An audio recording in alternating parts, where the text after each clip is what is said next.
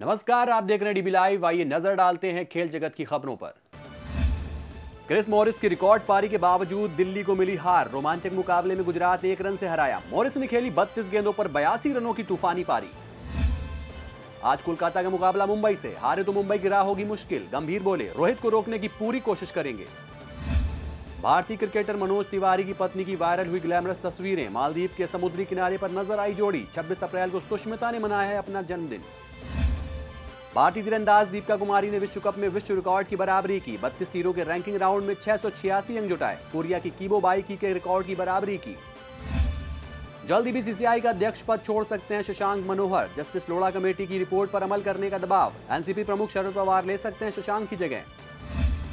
और युवराज सिंह ने नौ साल बाद खोला एक ओवर में छह छक्के मारने का राज। इंग्लैंड के तेज गेंदबाज एंड्रू फिल्टॉफ ने बल्लेबाजी को बताया था घटिया। ब्रॉड के अगले ही ओवर में यूवी ने जड़ दिए थे छह छक्के।